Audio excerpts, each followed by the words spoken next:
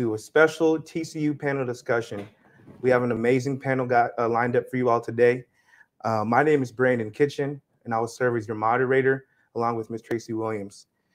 We'll be discussing the TCU Magazine Summer 2021 cover story that honors the memory of Mr. Fred Rouse, the only documented lynching in Tarrant County in Fort Worth history. It's also important that in today's conversation, we keep in mind that yesterday and today are very connected. In order, in order for us to understand the complex issues of today, we must embrace the past, good, bad, and ugly, and understand what happened so we can heal and build a better community in the future. So with that said, I want to go ahead and introduce our panel. Our first panelist to the far right on the couch is Adam W. McKinney. He serves as assistant professor of dance in TCU School for Classical and Contemporary Dance. He's the co-founder and co-director of DNA Works, along with his husband, Dr. Daniel Banks, and he also serves as a president and founding member of Tarrant County Coalition for Peace and Justice, also known as TCC PJ. Our second panelist on my end here is Fred Rouse III.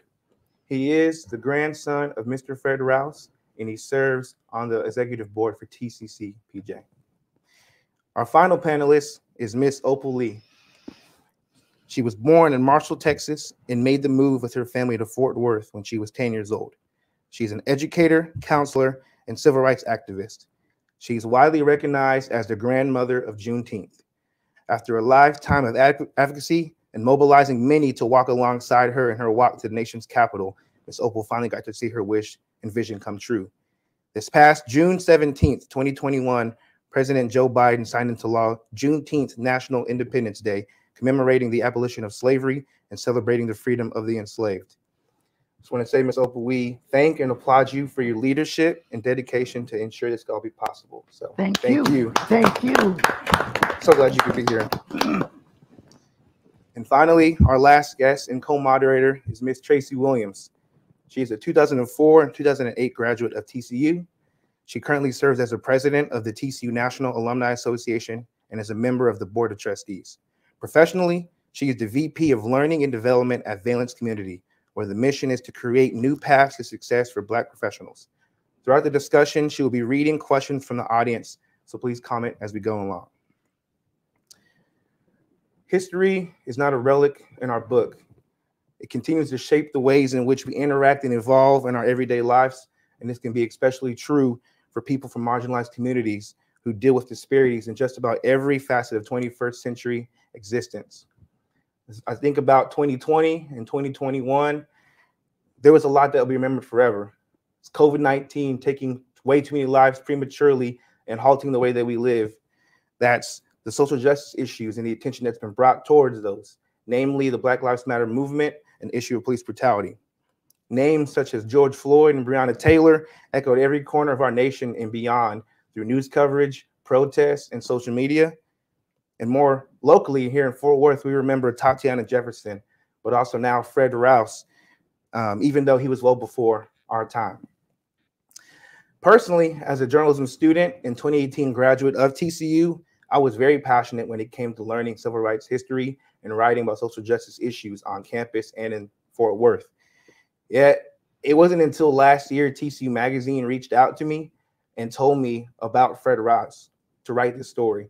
And I'll be honest, it, I was floored to find out that there was a lynching in our city, that I couldn't find that. Um, I still question how I didn't know, but I'm glad he's getting his name, Fred Rouse, and his story is getting the attention that it rightfully deserves now. As the author of this cover story, I'll admit it wasn't an easy process to write. As I began to learn more about the history of Fort Worth and about the fate of Mr. Fred Rouse and what happened to his family, it was it was honestly very painful and also as a black man in America, getting to see the news every single day was exhausting. It was tiring. It was depressing. And I often question and still do how much progress we've made in this nation, if any at all. But what kept me grounded was knowing I had an opportunity and a responsibility to use my gifts to help amplify a story that's been needed to be told for a long time. So I want to thank you all tuning in today and for all the readers across the country and um, for taking the time to read my story. It really means a lot to me. If you haven't already read it, you can do so at uh, magazine.tcu.edu. It's entitled Can a Lynching Spark Change? Um, you all are spreading his name like wildfire. Um, after just six weeks of being live, it's already been the most read story TCU Magazine has had in, in almost three years. So thank you for that. Lastly, before we dive in, I just like to thank the many partners who helped bring this panel to life. It wouldn't be possible without you guys.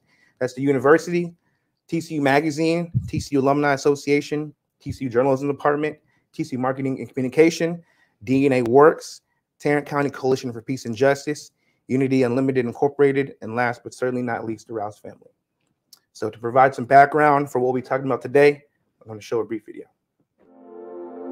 You cannot walk away from this experience today and not act. You are expected to act after you learn about the life and legacy of our dear Mr. Fred Rouse. Fort Worth Lynching Tour honoring the memory of Mr. Fred Rouse is a bike and car tour to the sites associated with the lynching of Mr. Fred Rouse, which occurred on Sunday, December 11th, 1921. My name is Fred Rouse III, and um, Mr. Fred Rouse is my grandfather. The very first time I took the tour, it, it was, it was heart-wrenching. Um, I could not believe that somebody would do this, not only to my grandfather, but to any human. It just broke my heart. Mr. Fred Rouse was a non-union strikebreaker in the Niles City stockyards, and when he left work on Tuesday, December 6th, 1921, he had to walk through a throng of white picketers. Uh, that evening, he was attacked and left for dead in the stockyards. The police officers put him in the back of the car. They thought he was dead. In fact, he was alive and rose up from the back seat. And so they drove him to 4th and Jones Street, the former city and county hospital. And he recovered there from his wounds, which included stab wounds, uh, and his skull was fractured in two places, along with internal injuries. And on the evening of December 11th, 1921, he was kidnapped from the hospital and uh, was driven to uh, the site of the lynching, which is at Northeast 12th Street and Samuels Avenue, and was murdered there at approximately 11:15 that evening. As long as I've lived here, I, have never heard of, about this story, and so I had to come out here and, and learn more about it, and really just educate myself so that I can educate other people about the story. At TCU, we talk about the university being the University of Fort Worth. If we're going to be the University of Fort Worth, we have to tell these types of stories. I come to this work with a sense of responsibility and with a sense that change can actually happen in our lifetimes. What this work has meant for me is that um, I also get to invite others to take leadership in the change that we want to see here in Fort Worth. And I see it happening.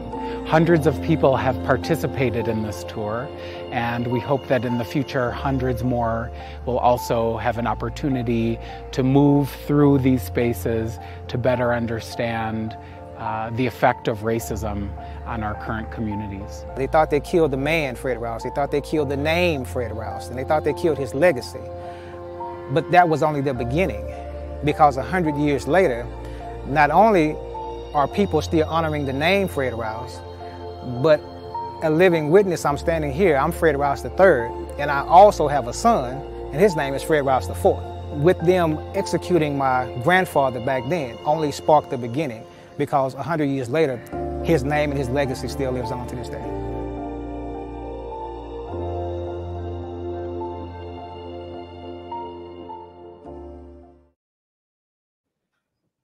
I hope you all enjoyed that video. I want to give credit to Amy Peterson who made that video. Um, it's amazing. So before we dive in, just want to put another plug in for the audience. We'll be doing questions um, as we talk. Well, I'll be doing questions. Tracy will will also be checking her iPad and we'll make sure to get you guys in on the action. So let's dive in. Um, start with Adam. When you made the move to Fort Worth, why take it upon yourself to unearth this painful story of what happened to Mr. Fred Rouse? Thanks, Brandon. I'm a dancer and an artist. And so the way in which I engage the world is through art. Um, I did my master's work looking at the physical effects and manifestations of racism. What does racism do to our bodies and what does it do to our communities as a whole? And so when I came to Fort Worth, um, knowing that I was moving to the South, um, I assumed that there may have been a racial terror lynching here, and I did not have to go far. The racial terror lynching of Mr. Fred Rouse that took place in 1921 was well documented in Fort Worth Star Telegram articles from 1921 and 1922. I'm happy to cite uh, Tim Madigan's article from 2002, uh, in which Mr. Robert Rouse, the nephew of Mr. Fred Rouse, and his son, Mr. Robert Rouse Jr., are featured, as well as the 2018 Bud Kennedy article about the racial terror lynching of Mr. Fred Rouse. And it made me question um, why, because it had been well documented, do we not know about it?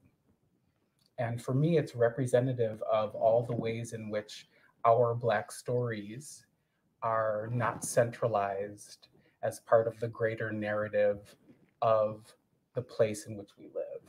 And so my interest as a researcher was to um, use the arts as a way to bring this story uh, forward. Thank you, And I'm glad you mentioned that, you know, stories, uh, Black stories are kind of buried. And so that's why I want to segue to you, Fred. You found out about your grandfather last year. I mean, you're you're a full grown adult with a life and kids. Yeah. So take us back to the moment you realized this was your grandfather. Why didn't you find out pre uh, well before any time in your life? Um, well, thanks for asking that question, Brandon. Uh, for me, my biological dad died when I was 12 years old.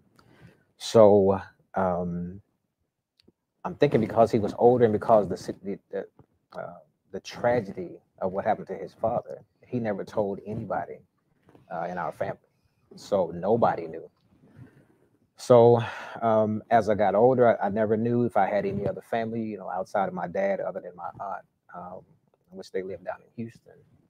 And so as an adult, I, I just never knew. And so then uh, last year is when I got the phone call uh, from Adam and you guys and, um, saying that you had found my grandfather.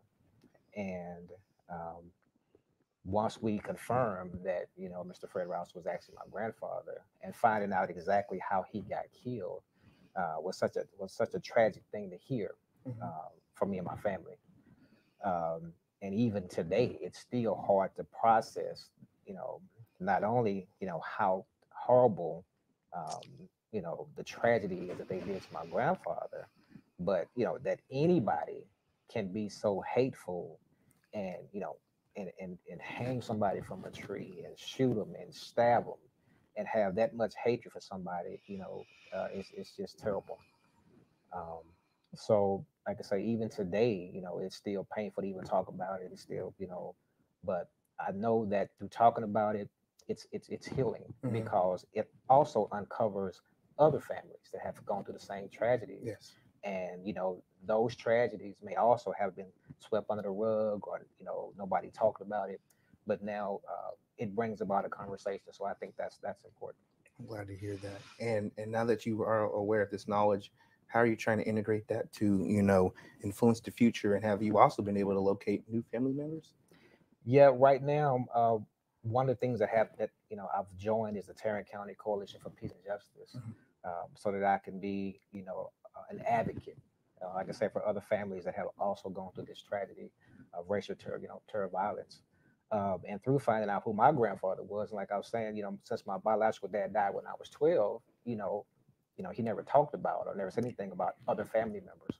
So through this process, I have found out that I have other family um, here in Fort Worth Wow. Wow. and uh, you know, and, you know, for the first time ever. And I've been in Dallas for 25 years, and I never knew that I had family, you know, 15 minutes down the street. And so I did get a chance to meet my cousin, you know, for the first time, Mr. Robert Rouse. And um, when I first met him, the the resemblance to me was was striking. Uh, he looks like me. He looks like my dad's sister. So we had a real good conversation, and uh, you know, I'm just glad to know that I, that I now know that I have family in Fort Worth, and that family is constantly growing. So I'm glad to hear that. So now this really is for anybody. We we've kind of found a common theme, and that's bearing tough generational trauma. Um, that's very prevalent in a lot of communities of color, especially in the Black community. Can we speak a little bit more about, you know, that, uh, Miss Opal? I want to maybe go to you. You've been in Fort Worth, um, and you've seen it grow, and and there was an attack on your house back in 1939. Um, how how have you begun to heal from that over time, and you continue to share that story with? Us? Well, if you have work to do, if you don't think about your problems and you help somebody else, you just sort of push it to the back. There's so much that needs to be done. And my parents, after what happened to us on the 19th day of June in 1939, where my parents had just bought a house, we'd been there a week, and the neighbors gathered, 500 strong, the papers said. There was police there, but they couldn't control the mob, the papers said. When my dad got home with a gun, the police told him, if you bust a cap, we'll let the mob have you. Well, my parents sent us to friends several blocks away, and they left under cover of darkness, but not before they began to throw things at the house, and then they went in and pulled out the furniture and burned it and burned the house down. My parents never, ever talked with us about it at all. They worked and worked and worked some more and bought another home. I don't know if that's a catalyst for the work that I've done, but I just know that if those people had given us an opportunity to live and work and play in that neighborhood, they'd have found we wanted the same thing they did a decent place to stay, decent schools. They were segregated, but ours were the best. Um, they'd found out that my da- dad had a job that was paying enough for us to live on at that time. We we wanted the same things they wanted, but they never gave us a chance. Um, the lot's vacant now, and I wanted to buy it to put another house on it. I want somebody to live there to show the neighborhood, and it has transitioned. It's not all white now. That people can live together and work together and play together and attend church together. And we're all one people. I'm, I'm, uh, I'm, I'm preaching that almost that each of us, each of us is a commit should be a committee of one I love that. to teach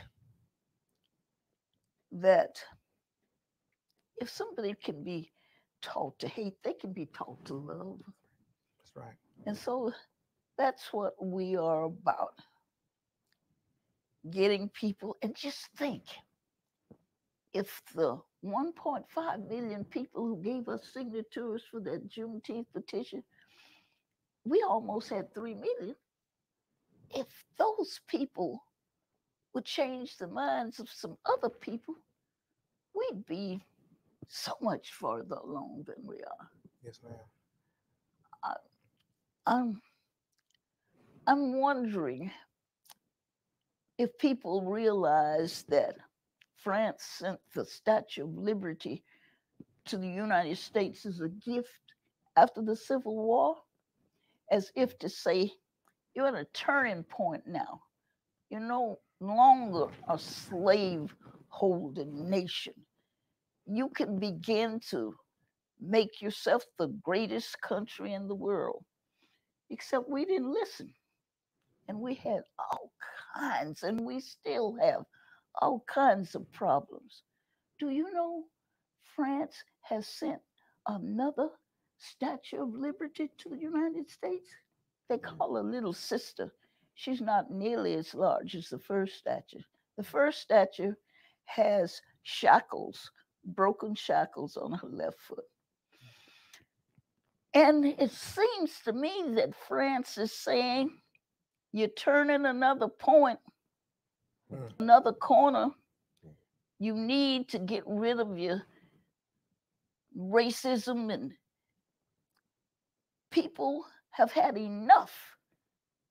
And you ought to be about healing. I don't understand why people don't know that you need to know what happened so that you can heal from it and go on with the rest of your lives. Well, I'm going to keep on walking and keep on talking till that happens. Yes, ma'am. Thank you so much, Ms. Opal. Thank you. And I want to come right back to you and- ask you, has it does it feel real yet that Juneteenth is now a national holiday? And what was your visit like to the White House in that whole entire week? listen i was i was just overjoyed i was humbled i don't even know the words to explain how i felt being mm-hmm. there but to think that a little old lady from marshall texas could make it to the white house and talk to the president of the united states it tells me that this can happen for anyone Yes, ma'am. and that we have so much to learn and so much that we can do to help the president and the vice president to make this a really great country. Thank you, Ms. Opal. And uh, this follow up here is while we do, people are celebrating the fact that it is recognized now, people are also still critical of the timing, which feels all too much like performative activism. You know, Black Americans have been asking for reparations, and police reform. Um, but at the same time, we're seeing government action that's trying to suppress voting rights and the thorough examination and education of our nation's history through a critical lens of race, also known as critical race theory. So, in your eyes, and then I'll ask, want to go to Adam and Fred as well. Does this feel like a real victory? Is it a symbolic victory? Is it just a step in the direction of progress? It's a step. It's a step. Oh, victory. And and we've got momentum and we need to keep it. We need to be able to address homelessness and joblessness and health care that some can get and some can't. And um the criminal justice system, that pipeline from the schools to the prison. All these things have to be addressed. Climate change, and we can do it. And we should be doing it together as opposed to what we are doing now. Yeah, and I, and I definitely think that it's a, a step in, in the right direction.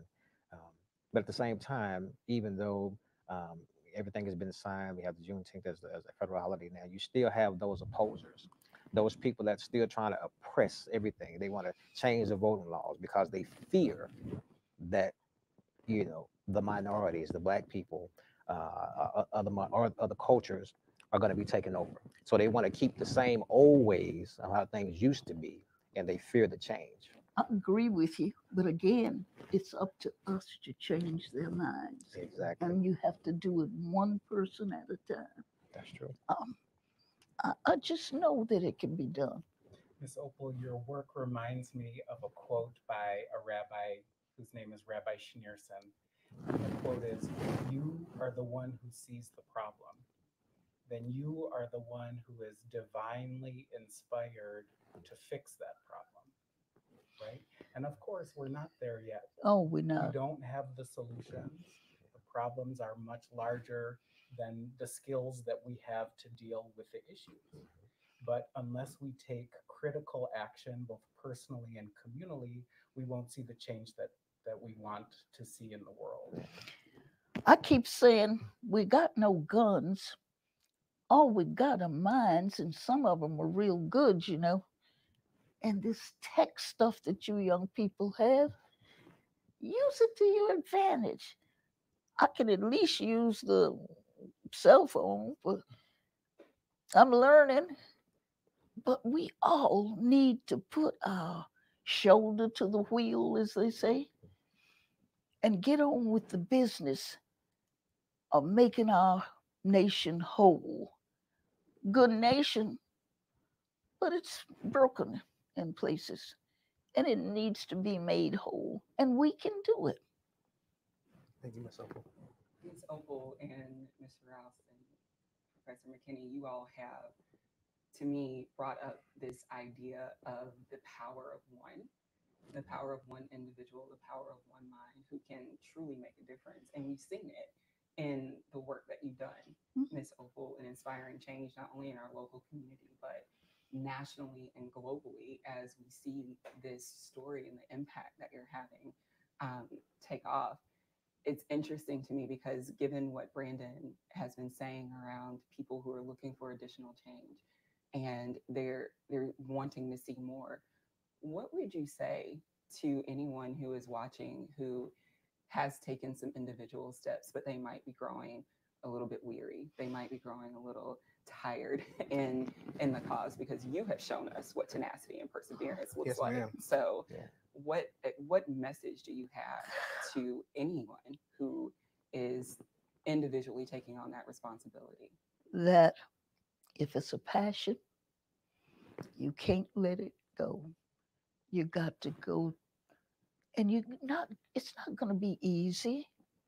You're going to get discouraged, but I, I know from a child, my mom was one of 19 brothers and sisters. My grandma had three sets of twins, but my grandfather was a circuit riding minister, and he saw things that others had that he wanted for his community, like tennis courts and golf and indoor plumbing and all that kind of stuff. When he lost a house by fire and built another house, he built a bathroom in it. We still had to go to that big black wash pot, put that water in, get that bucket, take it to that tin tub in that bathroom. But I'm saying that to say that my mom said I was more like him than any of the other of his 19 children. If he tackled something, it got done. Mm. And everybody in that neighborhood would go to Reverend Broadus with their problems and he would help them. He didn't have any more than they did. Maybe he did a little more, 19 children. But all I'm saying is, you've got to hold on to and do what you know is best. And don't let anything turn you around. I believe that. And I believe people can get more done working together than what's happening with us now. If I may, in terms of the story of Mr. Fred Rouse, um, well, first I think I'd like to say keep going.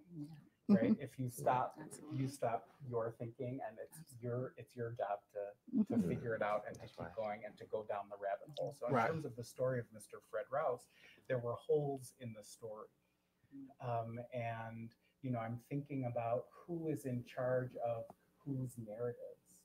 Um, I'd like to bring in the spirit of Ida B. Wells, who documented racial lynchings during her time. And what I found is that most often our experiences as people of the global majority are often written by um, people of European heritage. Ah. And I think that that was true in terms of the story of Mr. Fred Yes, Rouse it was. which also left holes for us to go down and to try to exhume the story. And what came forth were people and ancestors and possibility and legacy. Look, let me raise here, here, Adam. And in my research, as I was writing the story, there's more news coverage on the Star Telegram about the two brothers, white men who were shot when they attacked Fred Rouse, and they even talk about Fred Rouse and his family. And so I thought that was striking in, you know, 1921, like December, and then you backtrack to the summer 1921 Tulsa, you know, Black Black Wall Street. You can find newspaper reports and blurbs from that time, and it does the same exact thing. They don't mention about the families. They don't mention about the kids. They don't mention about the fact that you know the the whole concept of how the riot, quote unquote, started. That there was a bomb drop. That you know they started the fight first. It wasn't the black community, but it's recorded history a different way. So and, and that's the one thing to interject, and that's I think is a way that they keep control. You know, since they control the narrative, they control the information that gets out to the public, and that way they can control everything. You know, so that's that's one of the things I was thinking about. There's so much that's still uncovered. I know I've heard stories of a lynching tree in the area where Nash Elementary School, that community, there was a lynching tree there. That's not where they carried Mr. Rouse, but they said there were others who were lynched, whites and black, on that tree. Whether it's still there or not, I don't know. There are so many stories that have not been told. What happened to my parents, what happened to us, would have happened to others, except they armed themselves. There's a story in that neighborhood on Judkin Street, and that's where I lived, where a minister, he passed away recently, over 100 years old, his wife and small child. People gathered at their house and they were ready to do. He fired outside in that crowd and they dispersed and he hit somebody's radiator. That man came to him later to say, I'm sorry. I had no business in the neighborhood. They became friends. There's so much that can be done.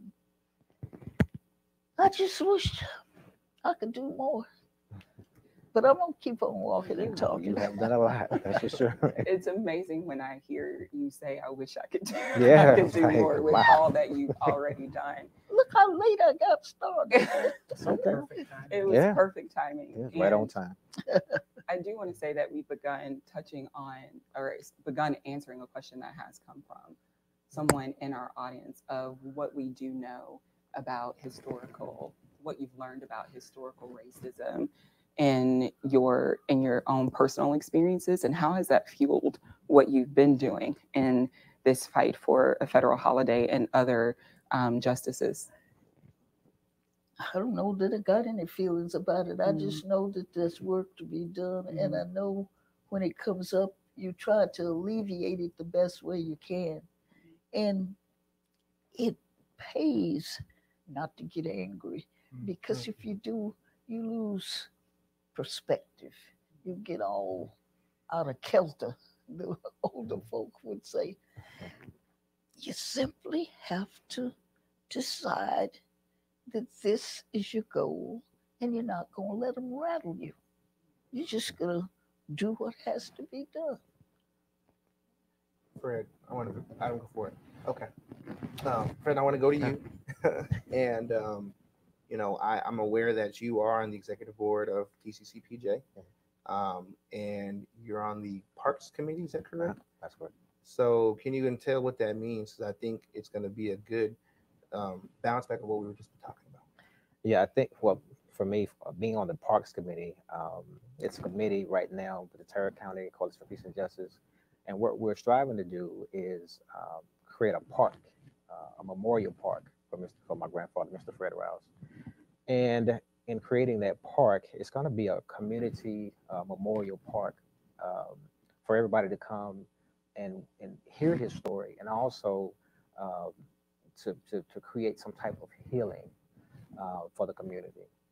Um, so we're working on that now, and um, later on this year, I think December this year, this is the hundred year anniversary of him being um, lynched, and uh, we're going to have the, the groundbreaking for that.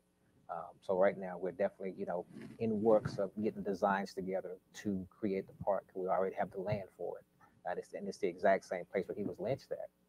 So uh, we're working right now to get that together. So.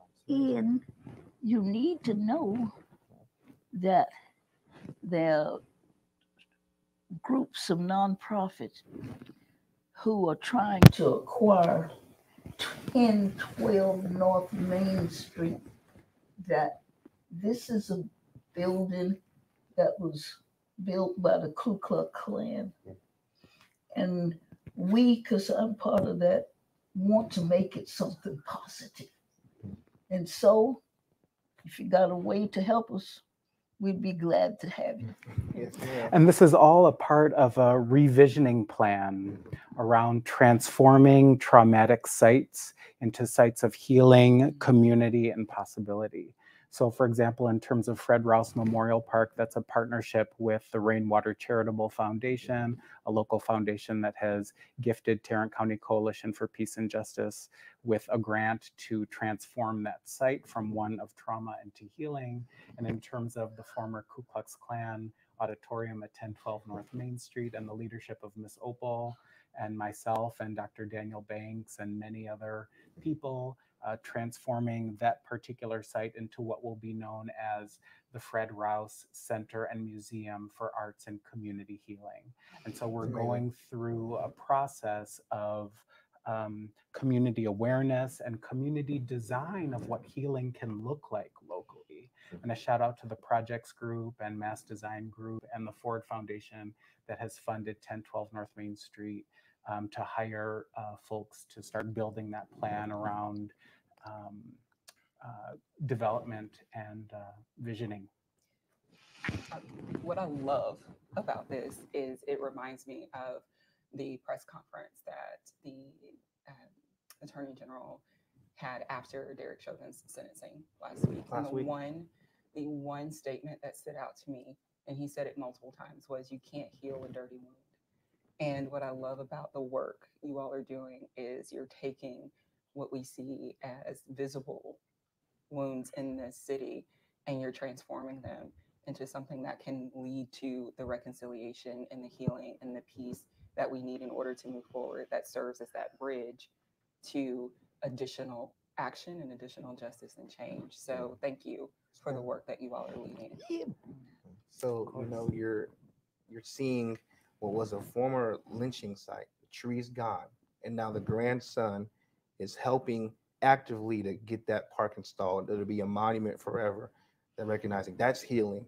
We're seeing the largest Ku Klux Klan hall ever built that's still standing. Hopefully, will be turned into a museum and an arts facility and a community healing space.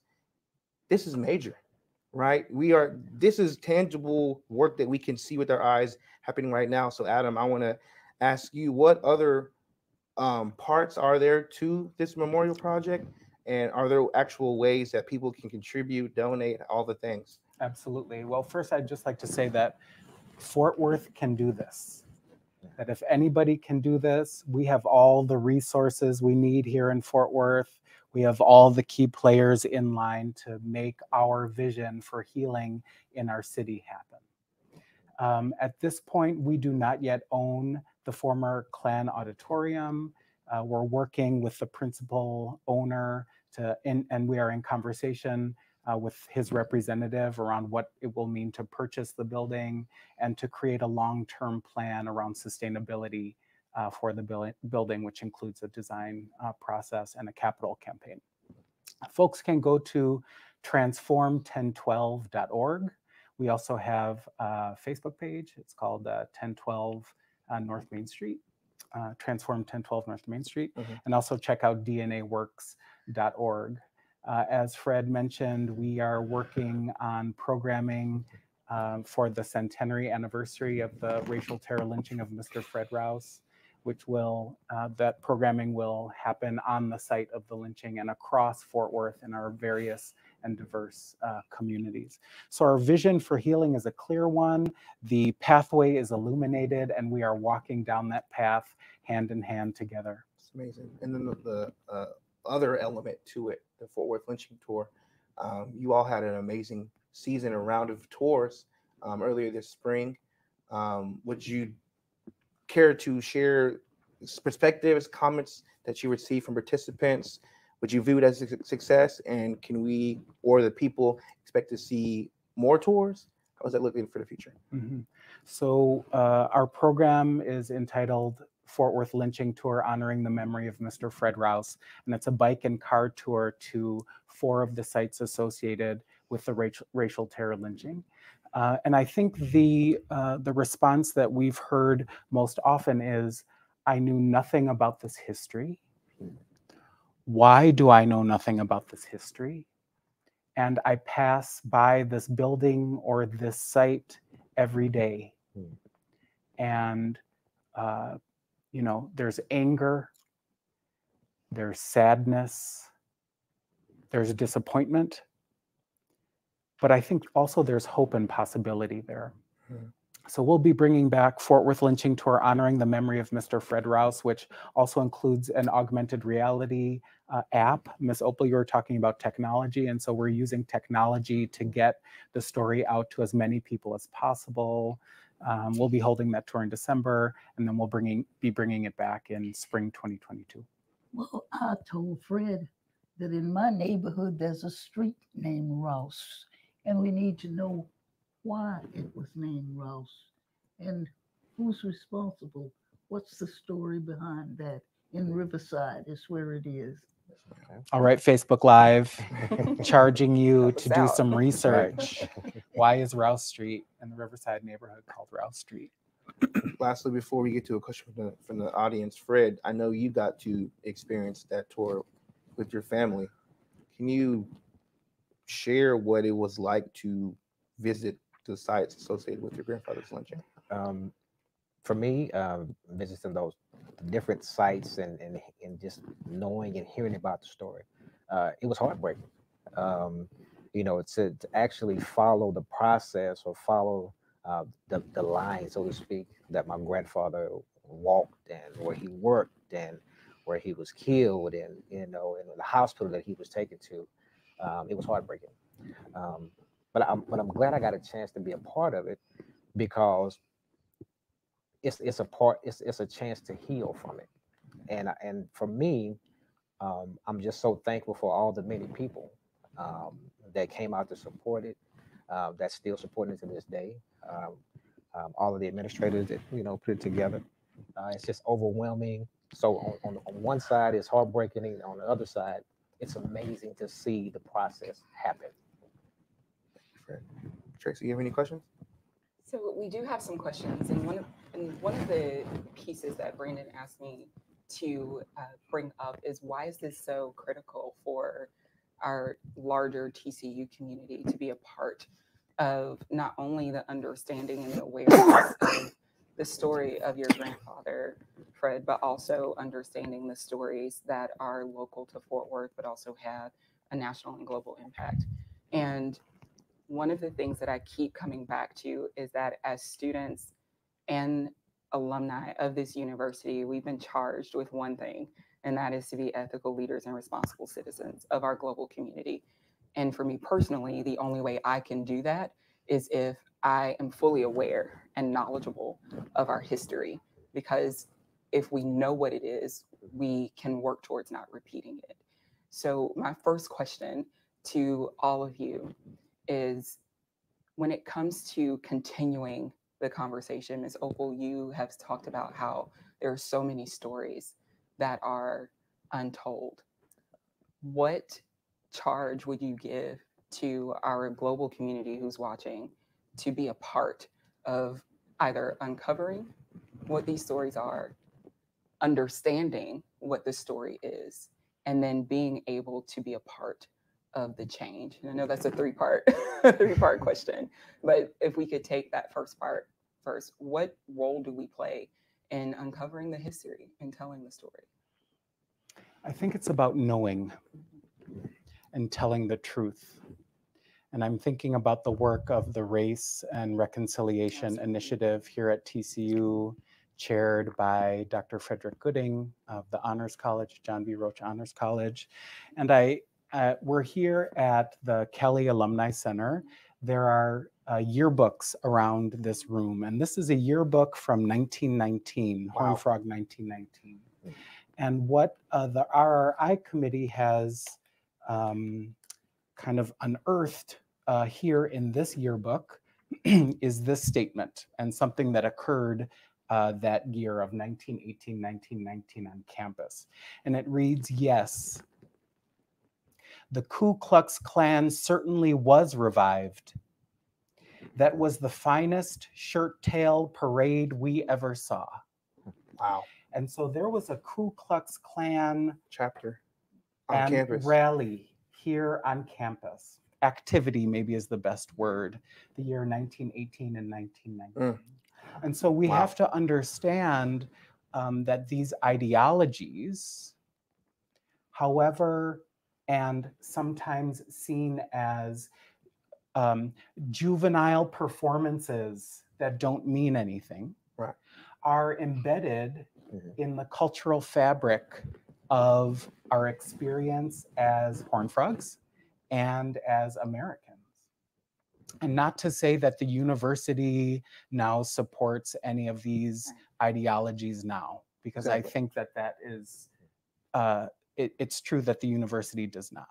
But we have to know the truth so that then we can reconcile. We also Yes. don't have a sense that Fort Worth had one of the largest Klan memberships in the United States in the 1920s. And so I think about how um, uh, Mr. Rouse's family members are still here. Then, thus, uh, the family members of those who were Klan members must still be here in Fort Worth.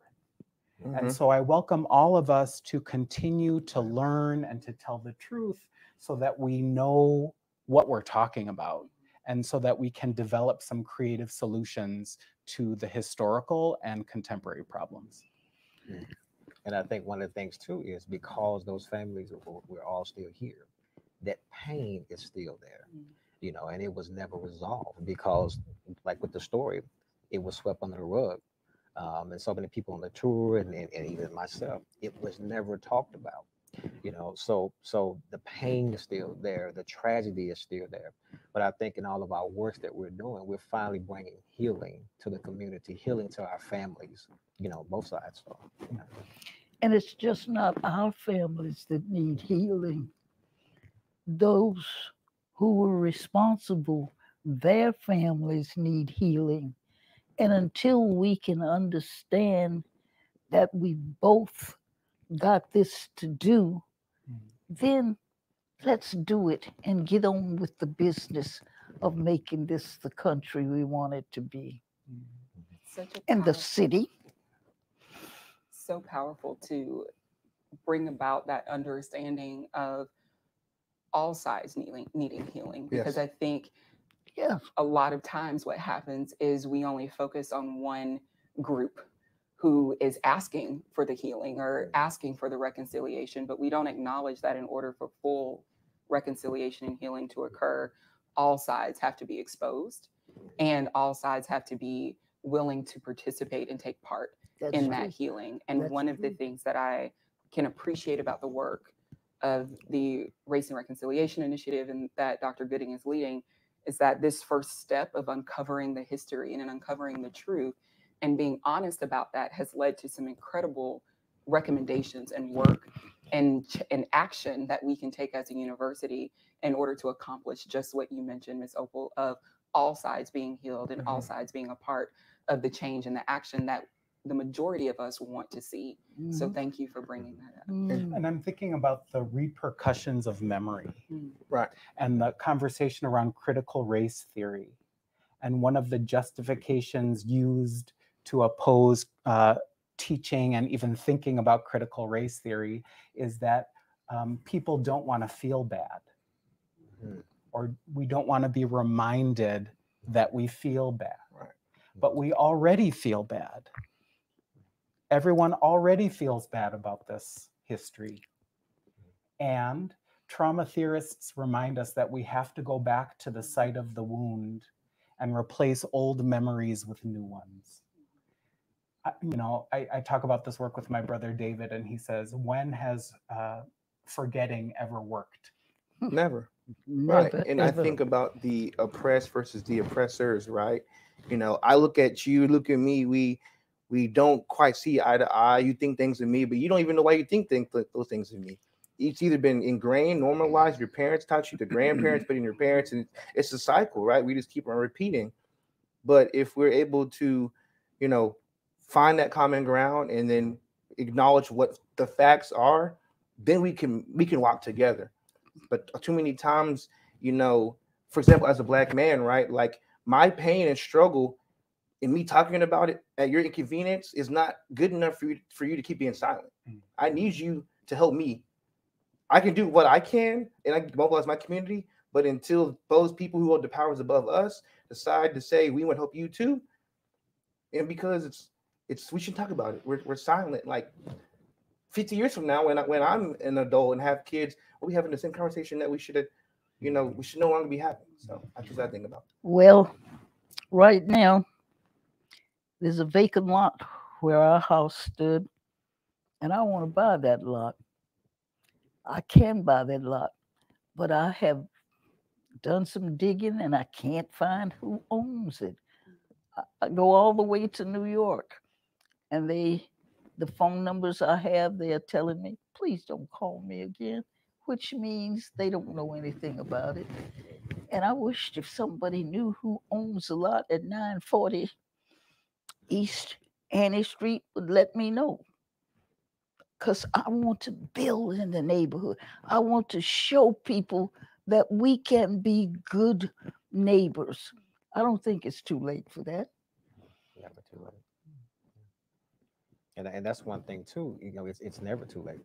And, and, and we mm. all have a voice. Mm. You know, even sometimes we think that our voices are, are silent or nobody's listening, no matter how loud we scream, nobody can hear us but just keep on with your voice and keep with that same passion and that same purpose. And one day your voice will be heard. I have, based on what you just said, now I have one last question for you all because it's so, I think it's so important. We've been talking about the use of the use of our voices and the and not giving up and to continue this work but we've also touched on how important it is for everyone to be involved mm-hmm. in this work. So mm-hmm. I have a specific question for you all on the role of allies in this work.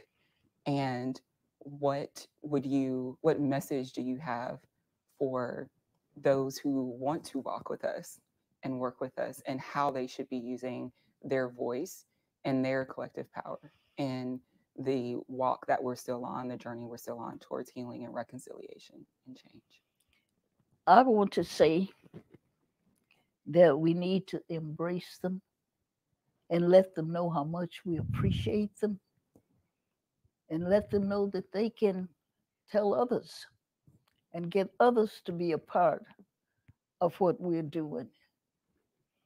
We'd be delighted if there were people available right now who, and there's enough money in this town to do anything we want to do. So somebody step up so we could have the building at 1012 North Main Street. There are others who are helping, and we're grateful for their help. But mention it to somebody else in your circle who can do this. And I got my own things I'm doing that you can help with too. So look me up. I'm interested in, well, thanks for that 10, yes, 12 plug, Ms. Opal. yes. Making it happen. I bought a t-shirt today, by the way. uh, I'm, I'm interested in reframing the idea of, uh, or even the word ally.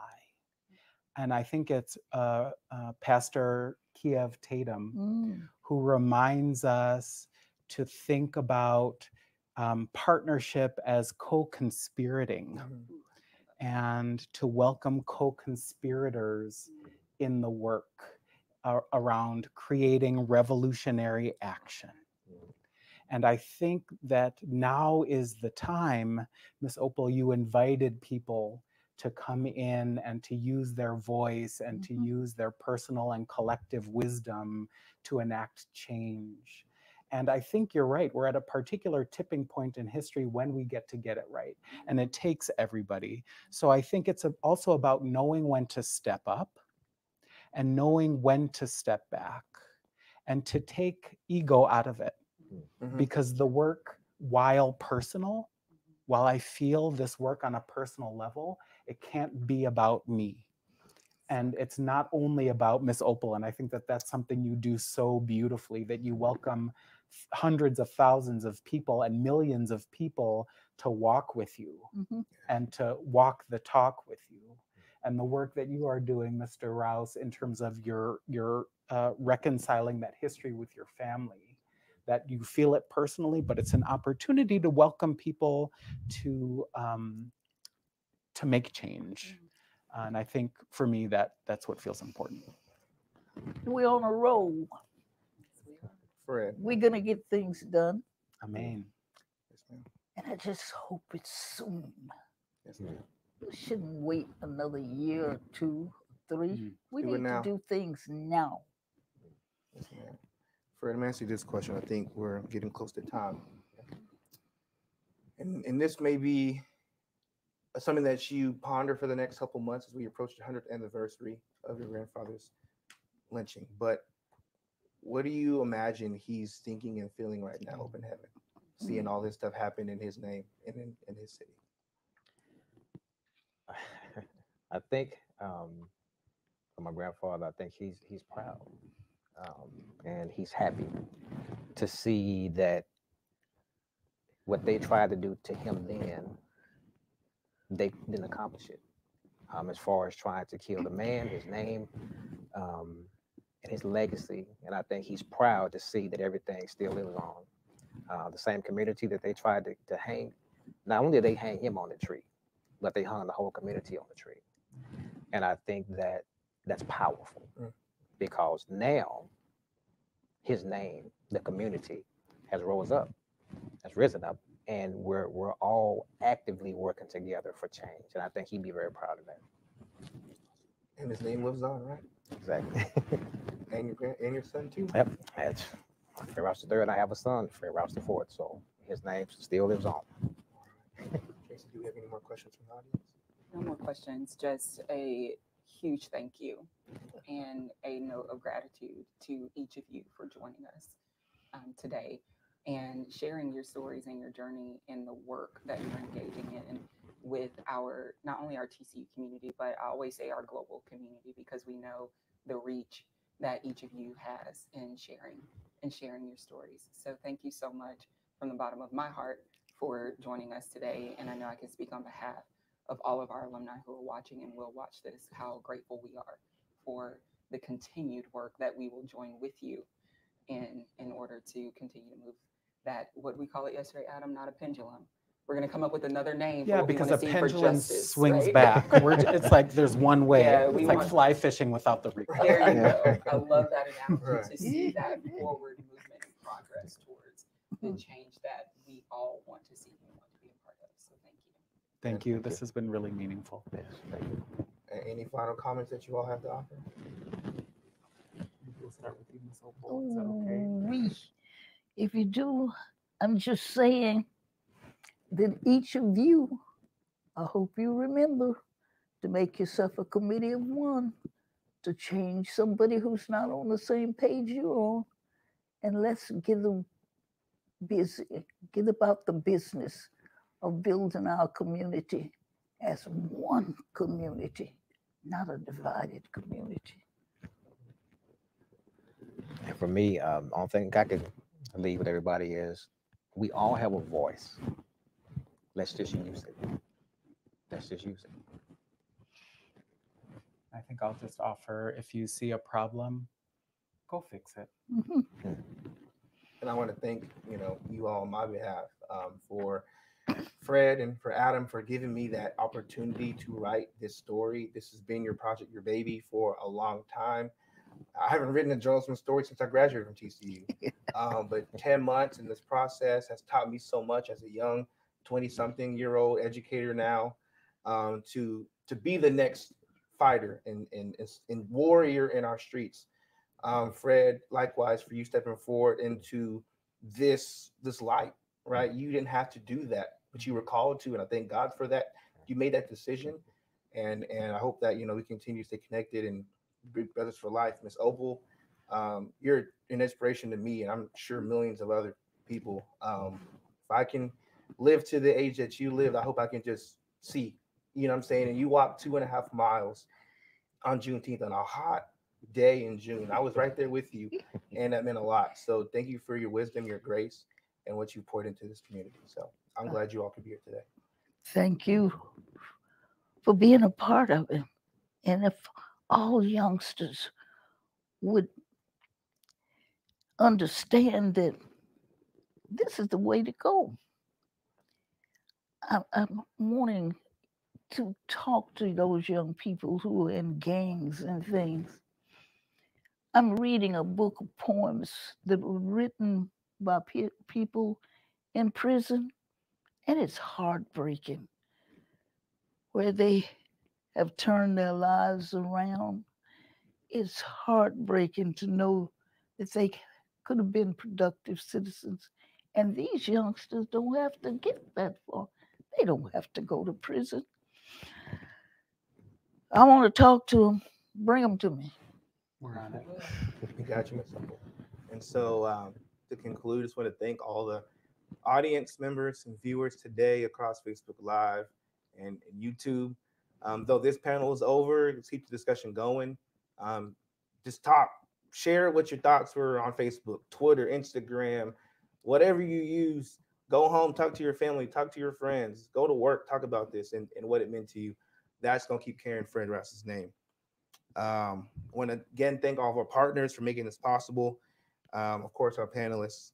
Um, if you haven't already, check my story out. Of course, I got to pub that right one more time. Um, magazine.tcu.edu and lynching spark change. And if you are a TCU alumni, you got the magazine. It's also there too. Never too late to say his name. So thanks for joining us. Take care, and as always, go for